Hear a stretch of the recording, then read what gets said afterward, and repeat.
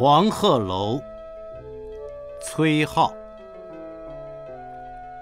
昔人已乘黄鹤去，此地空余黄鹤楼。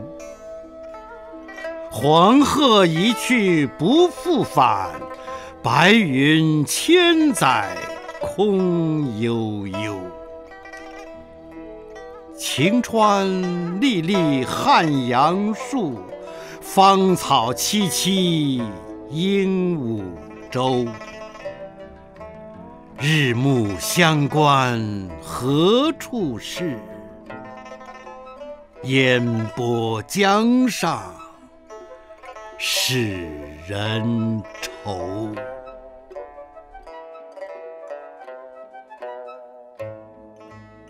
崔颢大约生于七零四年，卒于七五四年，唐代诗人，汴州，也就是今天河南开封人。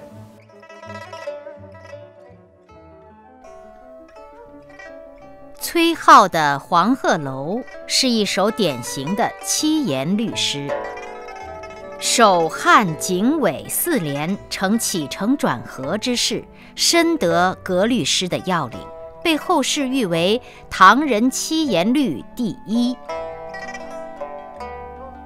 诗的前四句借黄鹤楼发思古之幽情，首联巧用典故，由仙人乘鹤归去引出黄鹤楼，起笔就让黄鹤楼充满了神秘的色彩。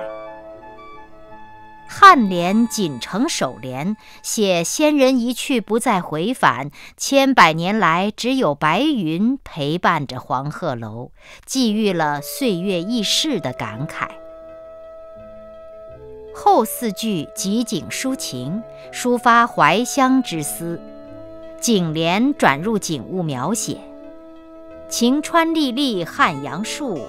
芳草萋萋鹦鹉洲，写汉阳一带的树木历历在目，鹦鹉洲上的芳草一片繁茂，呈现在眼前的是一派生机勃勃的景象。尾联“日暮乡关何处是，烟波江上使人愁”，写日暮时分，诗人远望家乡的方向。然而茫茫千里。哪里看得到呢？一个“愁”字收篇，抒发了诗人登临黄鹤楼的心情，令人回味无穷。